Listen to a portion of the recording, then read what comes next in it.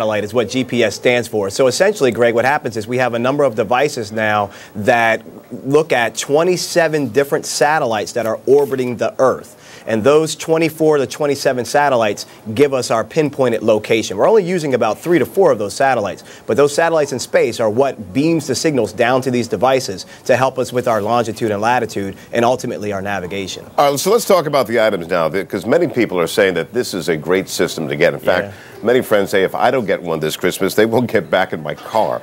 so let's talk about price range. So Is, wait, you're, you're the guy that doesn't want to stop and ask someone for directions, right? No, no, Mario, I ask every three blocks if I know. I'm, I'm directionally challenged. Okay, let's talk about price range. Is a $100 system really going to help us if we get lost compared to the really expensive ones? Yeah, I mean, yes and no. I mean, you can buy the $100 systems. You're going to be really bare bones. You'll be missing out on several features, but you will still have a screen that at the end of the day will show show you if you are closer to the destination that you're trying to get to.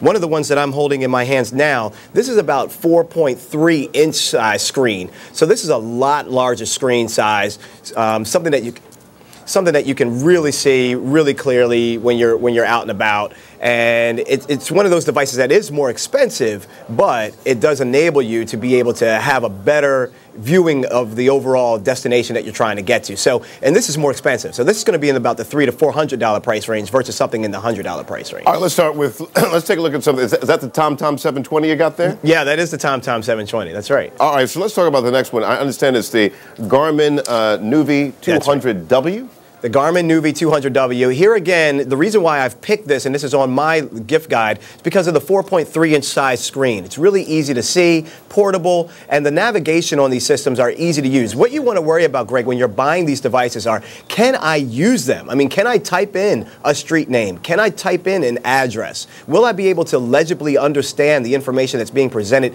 on the screen? So the larger the screen for more adults, the better the experience. I suppose now I live in Maryland and I'm going to give it, give it to a person in Maine.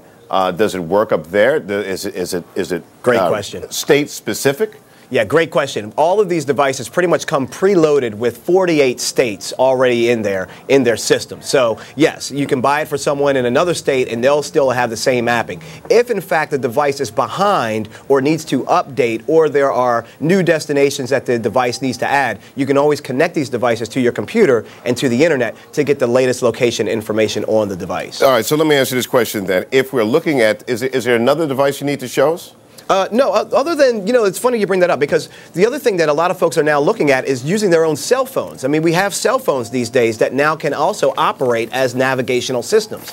So, like this Verizon uh, Voyager that I'm holding here, you would pay for a subscription service, unlike the other GPS devices that are standalone, but you carry your mobile phone with you everywhere you go. So, that's another option for people to think about if they don't want to make the step into a handheld device uh, on their own. You can look at adding an additional plan to your cell phone service if they have GPS devices. If they if they have GPS. Yeah. Mario Armstrong, as always, want to thank you for joining us this morning. Sure, my pleasure. And if you'd like to learn more about our man Mario, check out a profile about him on nabj.org. I understand you are the magazine profile. Is that right?